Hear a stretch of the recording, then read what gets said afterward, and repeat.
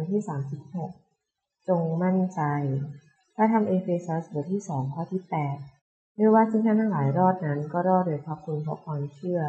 และไม่ใช่โดยตัวท่านทั้งหลายกระทำเอง แต่พระเจ้าทรงประทานให้คริสตจักรเป็นส่วนสำคัญมากในชีวิตของเลสลิชาร์ดตั้งแต่เขายังเป็นเด็ก และเมื่อเขาเติบโตขึ้นเป็นผู้ใหญ่ เขาก็เป็นครูโรวีสอนและวีวารศึกษา ใครที่ได้เห็นชีวิตของเขา ไปโบสถ์เป็นประจำ เป็นมิตรและมีชีวิตที่ดีคนนี้ ก็จะบอกได้ทันทีว่าเลสเป็นคริสเตียน หลังจากที่เขาปลดเกษียณเขาได้พบกับรูบี้ซึ่งเป็นม่ายเช่นเดียวกับเขามิตรภาพของทั้งสองก็เริ่มต้นขึ้น วันหนึ่งรูบี้บอกกับเลสว่า ฉันรู้ว่าฉันจะไปใช้ชีวิตนิรันดร์ที่ไหน แล้วคุณล่ะแม้ว่าเลสจะไปบวชมากกว่า 70 ปีแล้ว แต่เขากลับตอบว่า ผมไม่มั่นใจเลย เขาหวังว่าพระเจ้าจะยอมรับเขา เพราะเขาทำสิ่งที่ดีมากกว่าสิ่งที่ไม่ดี รูบี้จึงบอกเลสว่า คุณควรจะทำให้มั่นใจ เลสเห็นด้วยกับคำพูดของรูบี้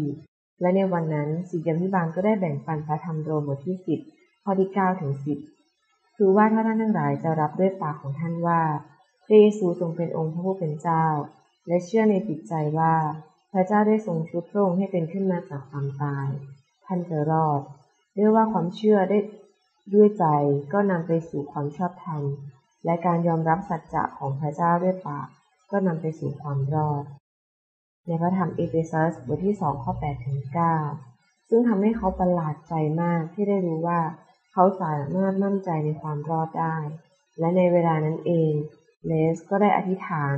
ขอให้พระเยซูคริสต์เข้ามาเป็นพระผู้ช่วยให้รอดของเขา 70ปีแห่งการทำความดี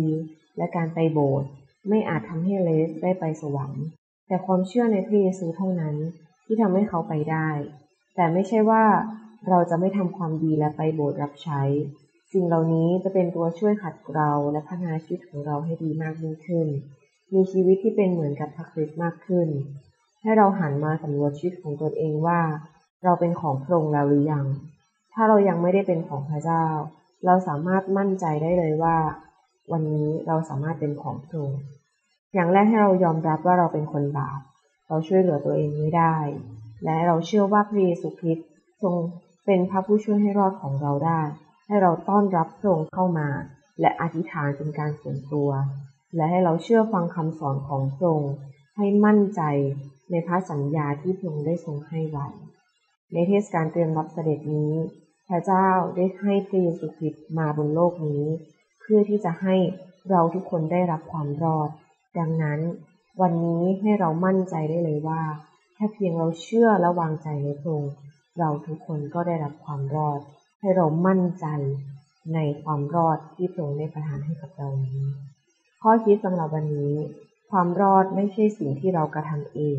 แต่เป็นสิ่งที่เราได้รับ ให้เราอธิษฐาน พื่อที่เราเองจะมั่นใจในความเชื่อ และรักษาความเชื่อจนถึงวันสุดท้ายของชีวิต